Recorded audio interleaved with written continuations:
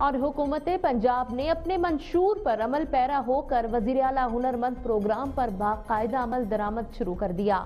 Programme کے تحت ایک کروڑ نوکریوں کے ویژن کو حقیقت بنایا جائے گا۔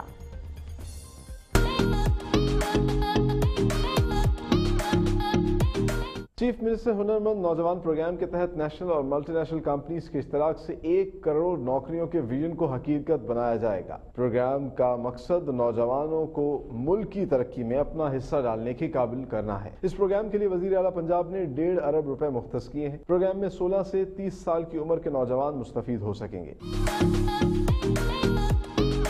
اب تک اس پروگرام کے تحت پچھلے ایک سال میں ایک لاکھ سے زائد نوجوان ٹیوٹا کے ادارے سے کورسز کر کے مستفید ہو چکے ہیں۔ چیف منسٹر نوجوان ہنر مند پروگرام کے تحت ٹیوٹا کی استعداد کو دگنا کیا جا رہا ہے، جہاں نوجوانوں کو مفت ٹریننگ دی جائے اسی پروگرام کے تحت چھپن ڈیمانڈ ڈریون کورسز کروائے جائیں گے تاکہ نوجوان ایسے ہنر سیکھیں جس کی صنعتی شعبے میں ضرورت ہے۔ پروگرام کے تحت ہر سال پندرہ فیصد سے زائد سالڈ ہیومن ریسورس بیرون ملک ایکسپورٹ کیا جا سکتا ہے۔ اسی پروگرام کے تحت ہزاروں نوجوان لم سے ٹریننگ کر کے اپنا کامیاب کاروبار شروع کر چکے ہیں۔ Thank you.